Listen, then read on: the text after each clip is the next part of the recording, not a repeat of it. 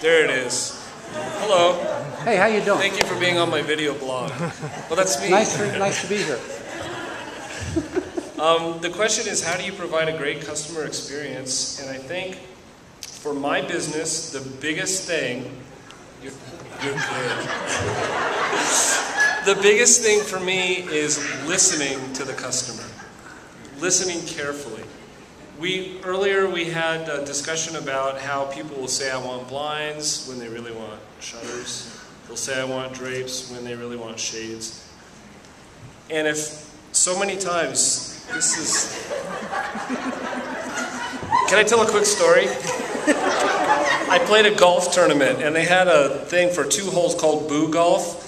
It was like this. You did everything you could to distract someone. I'm, I just make. I wanted to have character.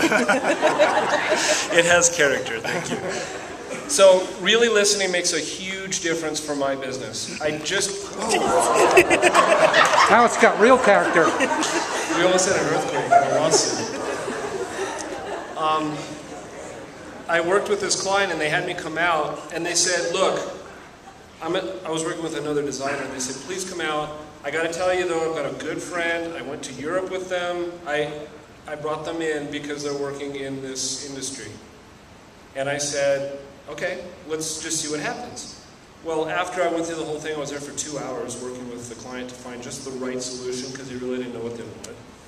She, so, she told me, you know how long the other person was here? Five minutes.